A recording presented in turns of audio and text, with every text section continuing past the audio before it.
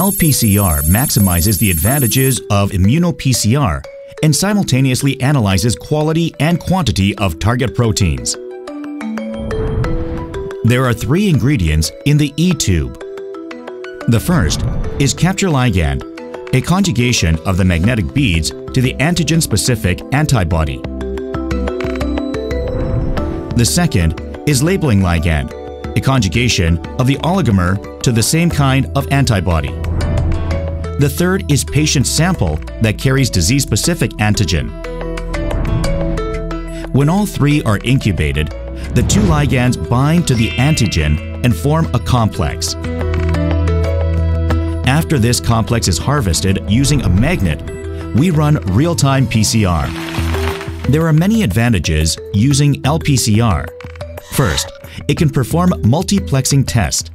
Second, quality control is easily maintained by comparing the result with the standard target molecule. Third, solution sandwich method allows faster and more precise 3D kinetics. Fourth, it has an excellent limit of detection.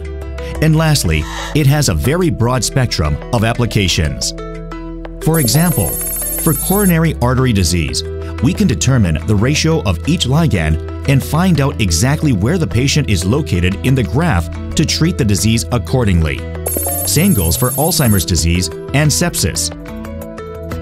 LPCR is not limited to these diseases, but to any diseases that have standard graphs that indicate the ratios of disease-specific ligands.